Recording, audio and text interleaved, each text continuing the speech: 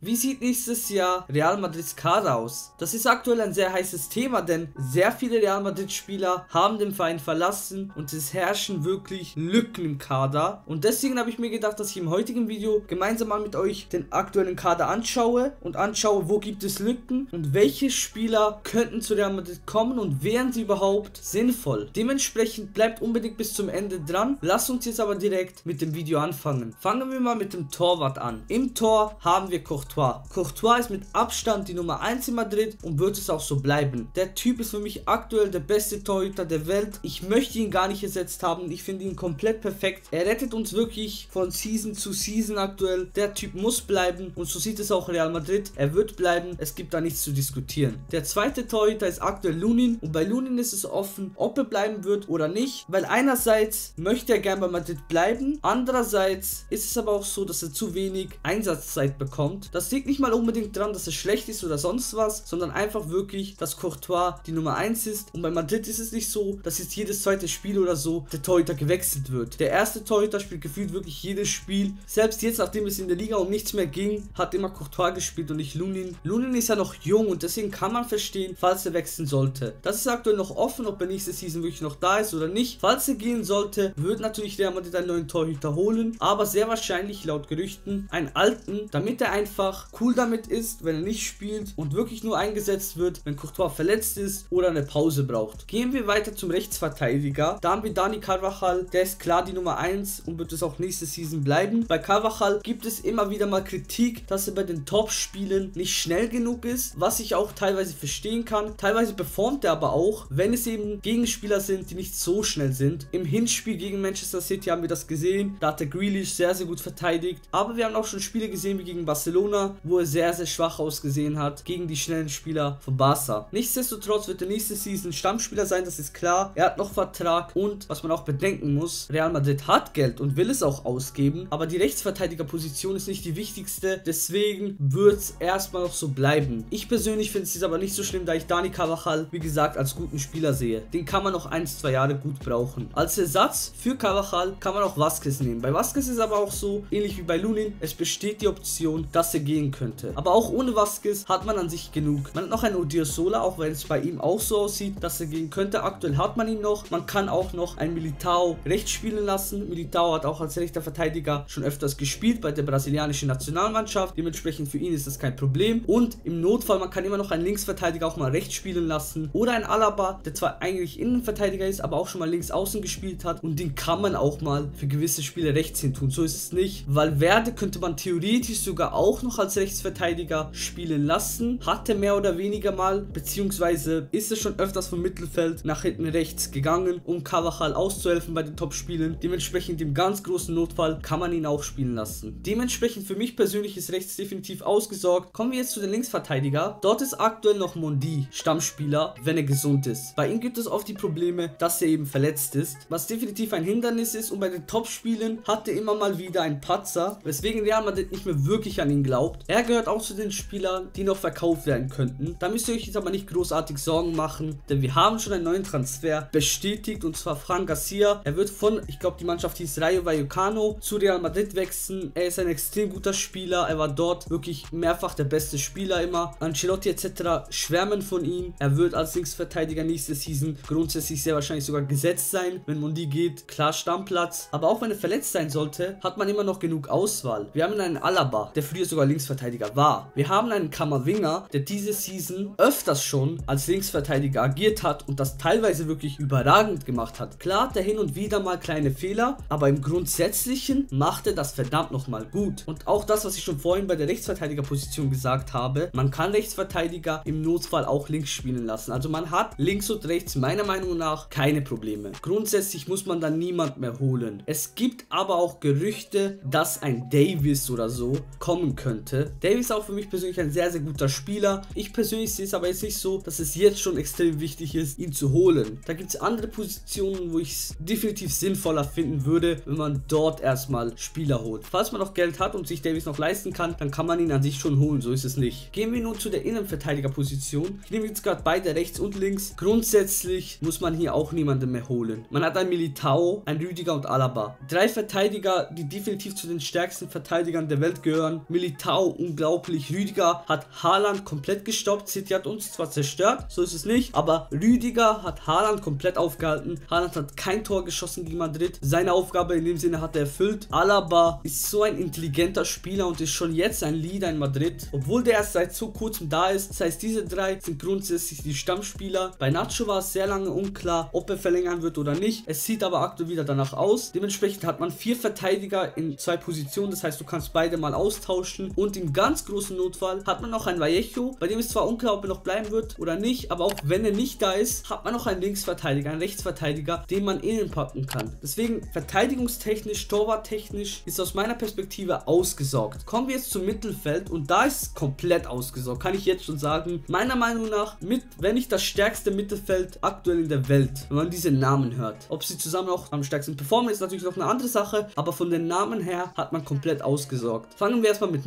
Modric und Kroos an. Modric und Kroos werden noch eine Season bleiben. Danach sieht es so aus, als würden sie mit dem Fußball aufhören. Aber jetzt für die nächste Season haben sie beide Legenden. Und was soll ich sagen? Kroos hat diese Season gut performt, Modric auch. Klar, merkt man, es wird immer wie mehr, dass sie mal ausfallen. Aber insgesamt spielen sie noch genug. Vertraut mir, die spielen wirklich sehr oft und auch sehr, sehr gut. Kroos, seitdem jetzt Casimiro weg ist, spielt auch öfters mal in der 6 Position und das macht er grundsätzlich sehr, sehr gut. Hat sogar Spiele gehabt, wo es ausgezeichnet gemacht hat. Modric immer gut. Gut, man muss sagen, jetzt letzte Season war weniger stark als die vorherigen, aber grundsätzlich Modric immer noch ein extrem wichtiger Spieler. Und das Wichtigste bei den beiden, die sind Vorbilder für die anderen Mittelfeldspieler, denn sie haben so viel Erfahrung und das merkt man. Diese Erfahrung ist nicht zu unterschätzen. Diese Erfahrung hat uns vor kurzem den Champions League Titel gebracht. Diese Erfahrung ist nicht zu unterschätzen, nochmal. Also wirklich. Doch neben Kroos und Modric müssen sich die anderen Namen meiner Meinung nach definitiv nicht verstecken. Wir haben einen Kamavinga, der meiner Meinung nach diese Season komplett durch die Decke gegangen ist. Der ist wirklich aufgegangen und der kann immer noch mehr aufgehen. Aber diese Season hat es endlich geschafft, wirklich so auffällig zu werden, krass zu sein, Stammspieler zu sein, von Anfang an zu spielen. Vor zwei Jahren war es zwar schon so, dass wenn er reingekommen ist, er performt hat, aber er hatte oft Probleme zu starten. Und dieses Problem wurde jetzt mit dieser Season gelöst. Er macht das wirklich sehr, sehr gut. Dann haben wir noch Valverde und bei Valverde ist es sehr, sehr interessant. Denn in dieser Season hatte die erste Hälfte so gut gespielt, dass Kroos gesagt hat, er gehört aktuell für mich zu den Top 3 der Welt. Und das war für mich auch so. Der war so stark, das glaubt ihr nicht. Der hat wirklich performt wie ein Monster. Dieser Valverde war nicht zu stoppen. In der zweiten Hälfte ist er dann komplett gestürzt und hat nicht mehr so performt. Hatte noch einzelne Spiele gehabt, aber von den Leistungen her nicht mehr zu vergleichen mit der ersten Hälfte. Das lag aber natürlich auch daran, dass er privat Probleme hatte. Seine Frau war schwanger und es hieß, dass sein Kind vielleicht sterben könnte, was ihn sehr belastet hat, was man aber natürlich auch verstehen kann. Und seitdem konnte er da nicht mehr wirklich wieder einfinden. Aber ich zweifle null an Valverde. Der Typ kann es und will es auch. Das merkt man auch, wenn man Interviews oder diese Dokumentation, die Real Drop anschaut. Der Typ ist motiviert. Deswegen, ich zweifle null an ihm. Der wird wieder in seine Form finden. Und sonst, wen haben wir noch? Wir haben noch einen Chouamini, der auch erste Hälfte super gespielt hat, zweite Hälfte leider nicht mehr. Was natürlich auch daran liegt, dass er sich verletzt hat und nicht mehr wieder gefunden hat. Aber ich habe wirklich in der ersten Hälfte des Season ein Spiel live gesehen. Ich war in Madrid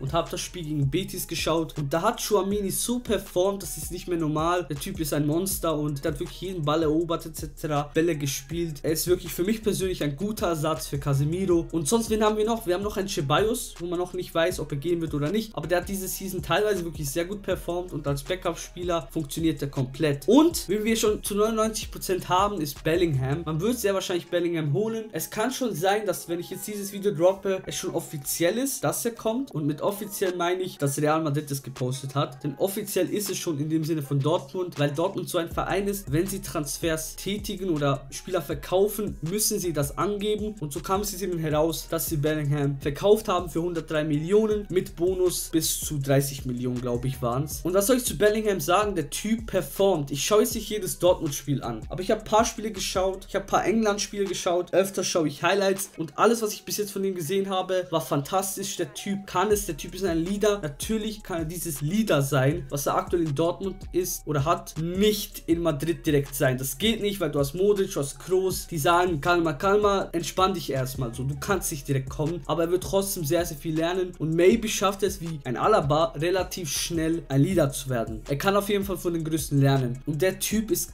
was ist er, 1920 ist er, glaube ich. Er ist extrem jung, mit Kammerwinger, mit Valverde, Chuameni werden sie in Zukunft meiner Meinung nach gut besetzt sein. Dementsprechend, ihr habt jetzt alle Mittelfeldspieler gehört, die sind krass. Real Madrid muss sich Mittelfeldspieler technisch nicht mehr Sorgen machen eigentlich. Auch wenn nächste Season Modric und Kroos gehen und das natürlich schon ein Verlust ist, sind sie grundsätzlich jetzt erstmal für diese Season, die kommt, gut besetzt. Kommen wir jetzt aber zu den Baustellen, zu den Positionen, wo man direkt merkt, okay, da fehlen Spieler. Gehen wir erstmal zum linken Flügel, da haben wir Vinicius und sonst niemanden mehr. Im rechten Flügel haben wir Rodrigo und sonst niemanden mehr und im Sturm haben wir eigentlich niemanden mehr, außer man will Alvaro Rodriguez, der zwei, drei Spiele diese Season gespielt hat, mit dazu nehmen. Ansonsten hat man niemanden, denn diese Season sind Hazard, Asensio, Mariano und wahrscheinlich der größte Verlust Karim Benzema gegangen. Man hatte schon Lücken meiner Meinung nach diese Season offensiv, jetzt aber sind die Lücken komplett da. Es ist aber auch klar, dass Real Madrid jetzt nicht nächste Season startet, nur mit einem Vinicius und Rodrigo. Natürlich können die beide auch ihre Positionen switchen, aber das wird nicht passieren. Und klar kann man ein Valverde oder so im rechten Flügel starten oder ein Chibais im linken Flügel, wie wir es auch vor kurzem hatten, aber das wird es natürlich nicht sein. Doch jetzt kommen wir zu dem, was ich am Anfang vom Video angesprochen habe. Ich möchte mit euch jetzt über die Spieler reden, die nächste Season kommen könnten. Als allererstes ist Brahim Diaz zu erwähnen, der offensiv eigentlich überall wirklich spielen kann, außer im Sturm. Sturm würde ich ihn jetzt nicht aufsetzen, aber im rechten, linken Flügel, ZOM, Mittelsturm kann man den Mann brauchen. Ob er jetzt aber auch bei Real Madrid bleiben wird, ist aktuell unklar. Klar ist nur, er wird kommen und da wird man dann schauen, aber er könnte auf jeden Fall ein Spieler sein, der nächste Season gesetzt ist. Und ab jetzt kommen wir zu den wirklichen Gerüchten, denn es werden aktuell wirklich 1000 Namen genannt und es müssen mindestens eigentlich zwei Spieler offensiv kommen. Ein Spieler, der als Karim Benzema Ersatz gesehen wird, ist Harry Kane. Harry Kane für mich ein exzellenter Stürmer. Das ist eine Maschine. Der Typ trifft und trifft und trifft. Er hat, glaube ich, in seinem Leben noch nie einen Titel gewonnen, was halt einfach daran liegt, dass er bei Tottenham ist und bei Tottenham es irgendwie ein Fluch ist, Titel zu gewinnen. Das ist kein Front an Tottenham oder sonst was. Ich mag Tottenham, aber irgendwie was Titel betrifft, sind sie nicht wirklich stark und der könnte jetzt halt wirklich kommen. Problem, was Real Madrid sieht und auch ich, ist halt wirklich die Ablösesumme, denn Kane ist sehr, sehr teuer. Er hat aktuell nur noch ein Jahr Vertrag und trotzdem verlangt man teilweise bis zu 150 Millionen, 130 habe ich auch schon gehört, 100 Millionen und das ist schon sehr, sehr viel Geld. Natürlich holt man sich einen Top-Stürmer, aber ist immer noch 29 Jahre alt und hat nur noch ein Jahr Vertrag und dafür sind 100 Millionen für mich schon sehr, sehr viel, vor allem wenn es dann über 100 Millionen sein sollten, mit Bonuszahlungen etc. Das ist mir ehrlich gesagt zu viel, aber man muss was holen und Harry Kane ist was sicheres meiner Meinung nach. Ich kann mir nicht vorstellen, dass er nicht performen wird. Es kann natürlich sein, dass er jetzt nicht so performt wie in England, aber grundsätzlich sollte es eine 20 Tore in der Season schaffen und das ist an sich in der Liga ausreichend, denn man hat immer noch einen Vinicius, einen Rodrigo, der nächste Season nochmal mehr wird geben. Er ist sicher für die nächsten 3-4 Jahre und das ist grundsätzlich ausreichend, denn danach sollte das Ziel Mbappé oder Erling Haaland sein. Das ist klar. Real Madrid schaut nur auf diese zwei Spieler. Es soll einer von denen werden und ich bin mir eigentlich sehr sicher, dass einer von denen irgendwann mal kommen wird. Aber es ist halt klar, dass es aktuell nicht passieren wird, weil beide haben noch einen laufenden Vertrag und sind einfach teilweise zu teuer und wollen vielleicht einfach jetzt noch nicht kommen. Dass sie in Zukunft kommen wollen, das kann ich mir schon sehr gut vorstellen. Vor allem bei Mbappé. Mbappé liebt Real Madrid, das ist offensichtlich. Klar ist er aktuell wegen dem Geld geblieben. Das ist so ein Spektakel gewesen. Darauf will ich jetzt erstmal gar nicht eingehen. Darum geht es auch in diesem Video nicht. Aber was ich grundsätzlich, wie gesagt, sagen wollte, ist einfach, dass Madrid, Haaland und Mbappé haben will in Zukunft. Und alle Spieler, die jetzt kommen, sollen erstmal grundsätzlich Ersatz sein, was Sturm und so betrifft. Und ein Kane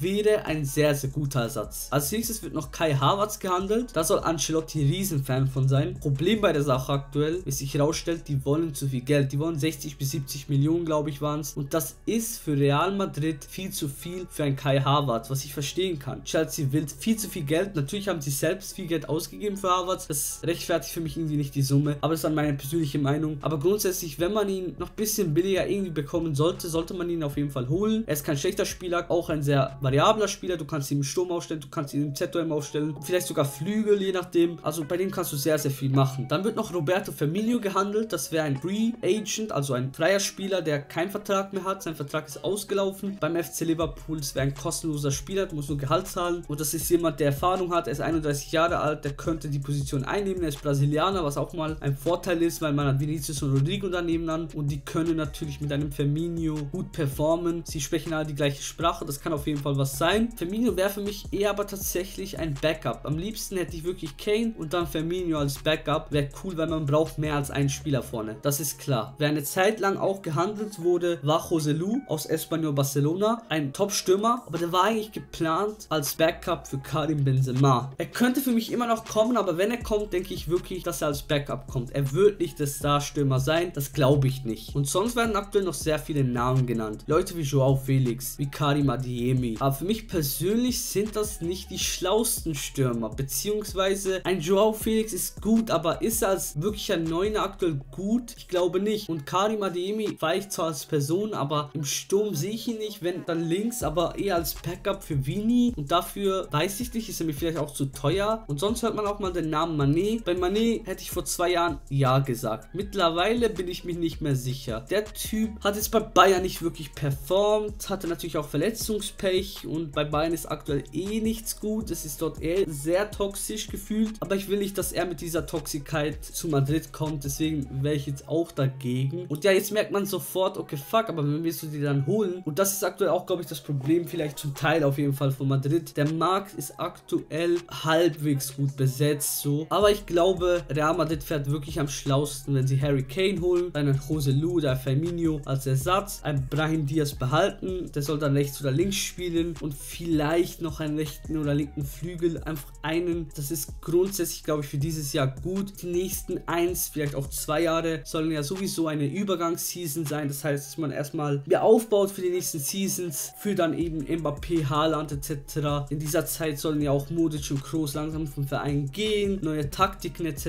sollen ausgetestet werden. Ancelotti wird dann auch ersetzt. Ancelotti wird sehr wahrscheinlich nur noch eine Season bleiben und danach ein Xabi Alonso, ein Zidane, ein Nagelsmann, da gibt es viele Namen, da wird dann jemand sehr wahrscheinlich übernehmen und dann halt was Neues schaffen. Madrid will jetzt den Sprung machen zu der neuen Ära und ich glaube, wenn man jetzt nicht zu viel ausgibt, fährt man besser als komplett in unnötige Spieler zu investieren und dann performen sie mir nicht wie ein Eden Hazard. Ich muss euch auch ehrlich sagen, Hazard hat mich schon ein bisschen verstört, was das betrifft. Aber gut, Freunde, so könnte Real Madrids Kader sein nächste Season. Das Video ist jetzt verdammt lange geworden, vielleicht sogar das längste Video auf meinem Kanal. Ich hoffe, euch hat es gefallen. Falls es euch gefallen hat, würde ich mich wirklich sehr freuen, wenn ihr den Kanal abonniert. Würde mich auch sehr unterstützen.